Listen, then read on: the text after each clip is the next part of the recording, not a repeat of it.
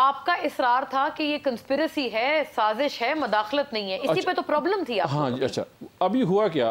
फौज ने कहा कि जी नहीं ये मुदाखलत है। आई एस पी आर ने कहा। हम्म। हम तो अभी उन्होंने दो स्टेप क्रिएट कर दिया ना। हम कह रहे थे कॉन्स्परेसी होने के नहीं इंटरवेंशन होगी। इसका मतलब कॉन्स्परेसी के बाद इंटरवेंशन हुई है। जब भी आप इसके शवायद ढूंढेंगे आप जब भी इसको इन्वेस्टिगेट करेंगे तो आपको यकीनन मिलेगा यहाँ ही से मोरे मिलेंगे। अच्छा कौन अच्छा। कहाँ पे किधर कैसे इन्वॉल्व था और क्या कर रहा था किससे मिल रहा था कैसे कर रहा था ये हेयर से नहीं है। ये तो सर एक सतहत्तर मुल्कों में मौना सतहत्तर मुल्कों में रजीम चेंज अमरीका कर चुका है।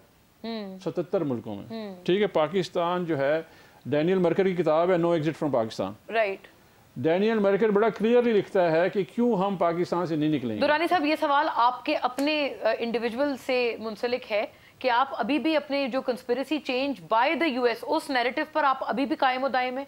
उससे आप लोग पीछे नहीं हटे हैं? आपकी बात से मैंने यही डिड्यूस किया है। नहीं, नहीं, और दूसरा ये भी कहते हैं कि वो जी वो जो क्या वो जो लॉबिंग फर्म है हाँ। उसके साथ भी जो एक पूरा एक अग्रीमेंट था उस आपने किया है उस पूरी नैरेटिव के बाद इज़ दैट ट्रू हाँ जी वो जो लॉबिंग फर्म थी वो रियासत पाकिस्तान ने उसको इंगेज किया था। मैं उसका एक प्रिंसिपल था यानी कि मैं सिग्नेटरी था वो पाकिस्तान में कोई भी बन सकता है।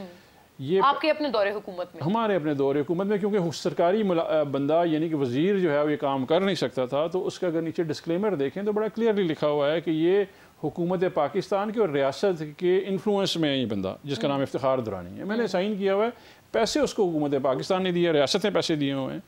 और देखें मोना जब भी ऐसी हायरिंग होती है ना तो उसकी टेंडरिंग प्रोसेस है उसकी अप्रूवल प्रोसेस है जो कि दोनों नहीं हुए हैं ठीक है? और उनका काम था कि उन्होंने उस वक्त जो है लॉबी करना था क्योंकि अफ़गानिस्तान में से यूएस एग्जिट कर रहा था। अच्छा उस वक्त आपने दरअसल उस वक्त ये चल रहा था। हाँ। अभी भी we believe administration to administration आपके ताल्लुक हमारे ट्रंप के साथ बहुत अच्छे थे. बाइडन के साथ नहीं थे. हम्म। ठीक है आगे घर आ जाएगा.